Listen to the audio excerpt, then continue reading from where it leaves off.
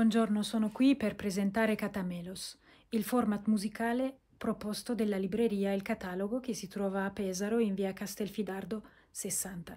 Catamelos, melodie in libreria, è una serie di incontri musicali vissuti all'interno della libreria e trasmessi poi online.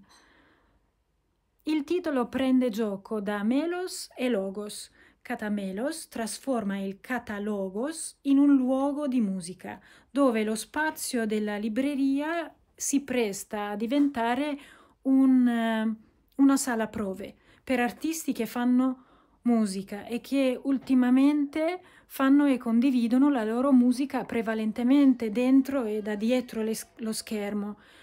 In Catamelos i musicisti ospiti hanno un piccolo pubblico dal vivo Alessandra e Giovanni che sono i librai, io Tamar che faccio le riprese, Mattias che fotografa e qualche cliente che passa, si mette sulle scale e, e ascolta un po'.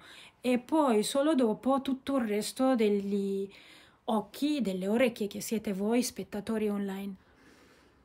Catamelos ha un precedente nella storia della libreria, in quanto l'anno scorso qui dentro abbiamo girato una serie di interviste incentrate sulla quarantena, che parlavano del vissuto durante il lockdown.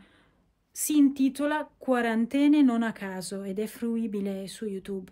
La differenza, oltre ad essere legata al componente musicale, e che in Catamelos non c'è la mano che interviene dopo, che taglia e che decide il ritmo. Non c'è il montaggio, sono quasi come le dirette. Come è nata l'idea?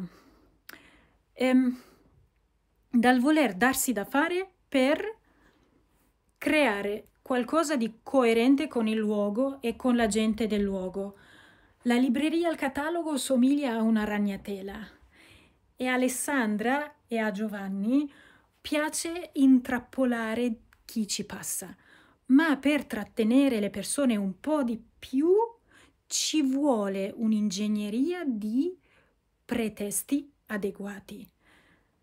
Catamelos è un pretesto per raccontarsi e per fare raccontare.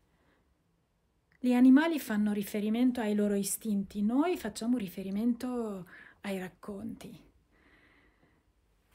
Ogni ospite, ogni puntata ospita un discorso musicale. È un solo, un duo, un trio che viene qua, canta, suona e parla.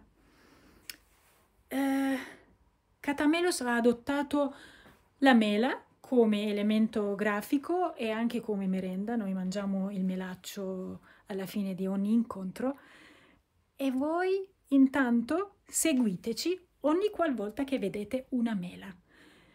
Io sono Tamara Iduk, ideatrice del progetto e titolare di QA Projects che vedete di fianco alla libreria il catalogo mh, mm, nelle produzioni che sono parallele al mestiere del libraio.